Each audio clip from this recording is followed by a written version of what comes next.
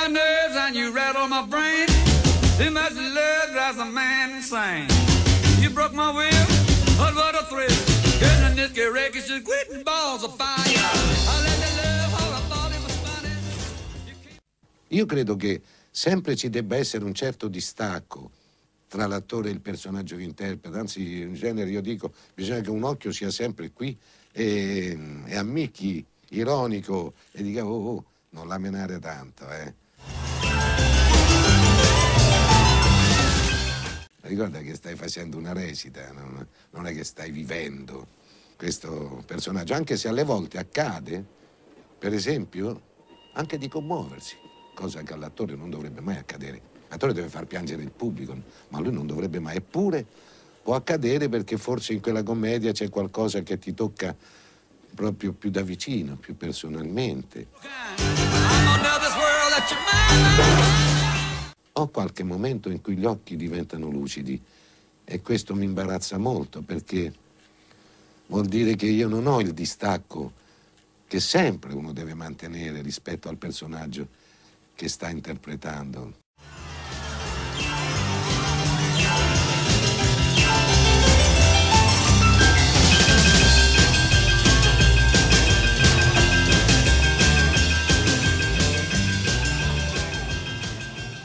Cari amici del web, bentrovati sul canale di Raito Libri. Come si può ben immaginare, oggi parleremo di teatro e lo facciamo dal piccolo teatro al borgo di Buonasera Cava a tutti, eh, mi chiamo Luigi Sinacori, sono il presidente e il direttore artistico della nostra associazione che si chiama Arcoscenico.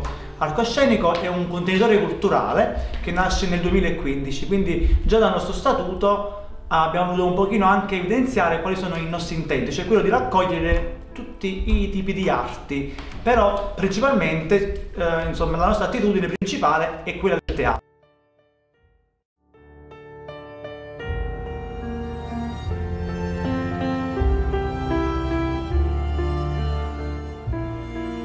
Arcoscenico è solo contenitore. Eh, poi ah, abbiamo la compagnia teatrale appunto che prende il nome di La Bottega della Ribalta, che è il gruppo di teatro che si occupa di portare in scena gli spettacoli. Eh, come ho detto prima, eh, io mi occupo anche della regia e quando occorre eh, sono anche insomma lo scrittore della compagnia insieme al mio amico Milano Mastuccino che spesso insomma ci alterniamo sia un po' nella, nella direzione artistica ma soprattutto anche nella scrittura di testi inediti. Una delle nostre caratteristiche è quella di portare in scena degli spettacoli sempre nuovi, spesso ins- insomma ci rifacciamo sia al mondo classico che anche al contemporaneo. Da due anni a questa parte collaboriamo in maniera solida con un'altra associazione che si chiama eh, Piccolo Teatro al Borgo. Colgo l'occasione per salutare insomma il maestro Mimmo Venditti che è il direttore artistico di, di questa realtà. Storico Mimmo Venditti.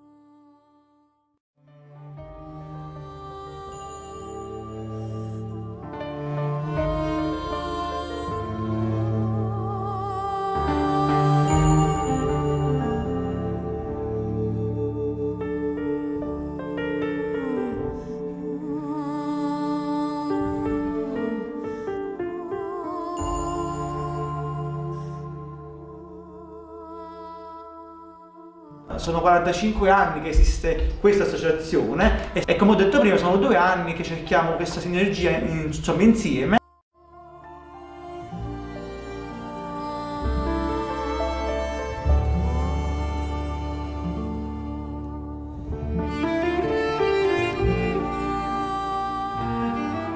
Ci siamo anche iscritti da un anno a questa parte anche a una federazione nazionale. Abbiamo scelto la WIRT in quanto ci sembrava più adeguata ai nostri obiettivi.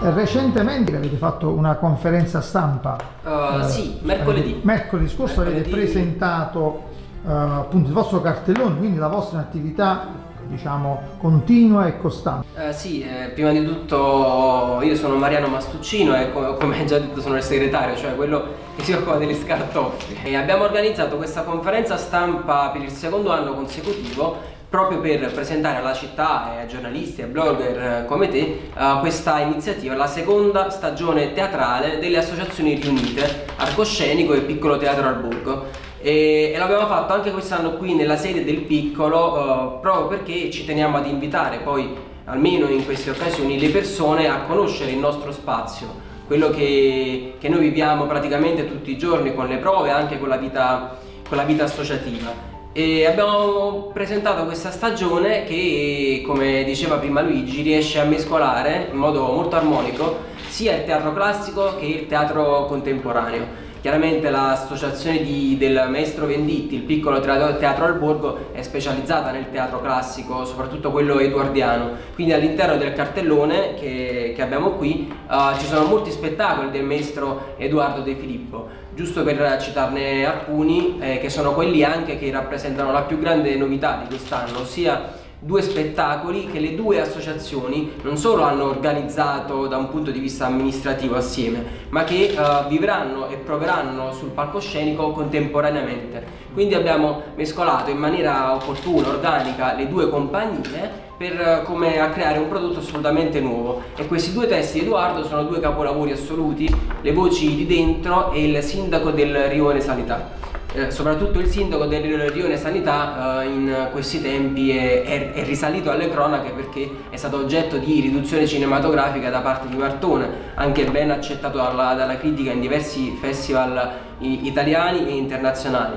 E, ehm, e, quindi noi facciamo questa sfida eh, diciamo a noi stessi in primis perché mescoliamo le compagnie che è una cosa molto difficile crediamo che a Cava di Tirreni non sia mai accaduto probabilmente ma soprattutto agiamo su un testo veramente che è una pietra miliare della, della, dei, dei testi edoardiani e poi le voci di dentro. Uh, oltre a questi testi ci sono soprattutto, è una cosa che a noi fa molto piacere, testi che sono scritti da uh, autori delle due compagnie, che sono scritti da autori cavesi, anche per questo crediamo di fare uh, un servizio anche alla città di Cava per conoscere questi autori. Perché in cartellone oltre ad esserci un mio testo il giorno 25-26 gennaio del 2020 che è Iude, una storia diciamo di fascismo e di intolleranza ci sono ben tre testi, ben tre commedie di Luigi Sinacori che sono un'eredità poco mancina, il matrimonio in bianco che addirittura è una commedia in musica, quindi anche lì un po' un rischio per noi, una cosa molto, molto difficile da portare su un palcoscenico. E, e, poi ci sarà Agenzia Speranza che è un assoluto inedito che quindi verrà presentato in anteprima per la stagione teatrale. E poi c'è anche un testo del maestro Venditti che invece è un classico. Eh, mio marito aspetta un figlio deve aver uh, fatto credo un centinaio di repliche in tutta Italia 161 ecco tantissime. E attualmente è uh, riprodotto da diverse compagnie in tutta Italia da 6-7 compagnie perché è un testo che ha avuto tantissima fortuna quindi cerchiamo di mescolare sia i classici, Edoardo, poi c'è anche un Pirandello. Noi di Arcoscenico faremo un lavoro e soprattutto Luigi sta curando una regia, uh, un, un, adattamento uh, molto sostanziale sul testo Il berretto a sonagli di Pirandello e, e poi anche un altro uh, grande testo di un autore molto importante Aldo De Benedetti e Non ti conosco più, sempre per la, il piccolo teatro al borgo. E quindi questo cartellone partirà all'inizio novembre il fine settimana del 9 e il 10 novembre e saremo noi di Arcoscenico ad aprirlo proprio con un'eredità poco mancina che è un testo scritto e diretto da Luigi. E, e verrà chiuso il 9 e il 10 maggio del 2020 con appunto il sindaco del Rione Sanità e le due eh, compagnie assieme. Chiunque eh, vuole può seguirci uh, soprattutto sui canali social arcoscenico sia su Facebook che su Instagram, uh, anche il piccolo teatro al borgo chiaramente fa la propria promozione anche su, su Facebook, però poi uh, anche privatamente noi facciamo il botteghino per ogni spettacolo con biglietti d'ingresso ad un prezzo ci teniamo a dire anche molto popolare. Perché il prezzo d'ingresso per il biglietto intero è di 6 euro, quindi una spesa assolutamente fattibile soprattutto uh, c'è anche una riduzione per i ragazzi più giovani e anche per gli allievi dell'accademia, in modo che anche che i giovani che studiano all'accademia diciamo. siano facilitati ad avvicinarsi agli spettacoli dal vivo con un ridotto di 4 euro, anche per aiutare le famiglie. E poi chiaramente che è quello che spesso consigliamo perché chi vuole seguire tutta la stagione può avere sia un posto assolutamente riservato con l'abbonamento ma anche un prezzo privilegiato perché eh, avrà un risparmio totale e sarà sicuro di avere il proprio posto riservato con un abbonamento appunto annuale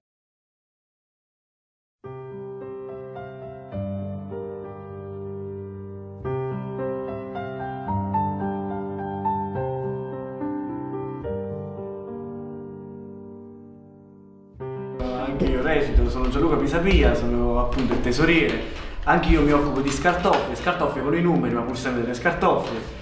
E diciamo che come piccolo ruolo, se proprio vogliamo dirla tutta, mi occupo anche un pochino della parte tecnica, eh, un poco anche insieme appunto all'altra associazione, eh, se la, la parte, il comparto sia luci che audio quando è necessario, eh, soprattutto quando andiamo ad esibirci in una location che permette soprattutto l'utilizzo di un comparto audio perché noi solitamente quando ci esibiamo nel piccolo tendiamo anche a non utilizzare una strumentazione audio ma per il semplice motivo che facciamo leva sul, sulla, sulla, nostra vocalità, sulla nostra vocalità e soprattutto per far arrivare anche nel modo più naturale possibile al pubblico le espressioni. E tutto il resto. Ritornando invece all'aspetto che più mi interessa, ovvero i soldi, in realtà non è così, però sì, sostanzialmente noi è chiaro che come abbiamo detto prima siamo una realtà che ci autofinanziamo, per cui eh, gli spettacoli, qualunque cosa noi facciamo è puntata al nostro sostentamento e anche al potenziarci stesso nel tempo, ovvero eh, anche come dire, provvederci di una strumentazione migliore uh, per qualche effetto quando possiamo, che vogliamo metterci qualche effetto speciale maggiore, per esempio l'anno scorso uh, abbiamo uh, fatto due spettacoli, anzi due anni fa e anche l'anno scorso ripetuti, um, collaborando sia con, con, un musicista, Lorenzo Cammarano, che possiamo salutare, anche un nostro caro amico, e anche con delle ballerine, Laura Camarota in primis e Miriam Cannavacciuolo. Ed è chiaro che uh, il lavoro di un professionista va sempre rispettato.